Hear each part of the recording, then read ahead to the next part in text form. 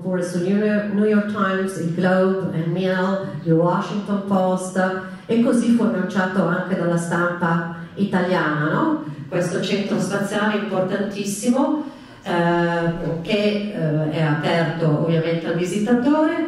ma eh, questo è l'accento che noi poniamo, questo camp, lo Space Camp per gli studenti di ogni età, è veramente un'esperienza unica. L'era del, dell'esplorazione dello spazio comincia nel 1957 con il lancio del primo oggetto nello spazio, un satellite, qualsiasi cosa che orbita, che, che va nello spazio oltre eh, una certa altezza, che è la linea di Karman di 100 km eh,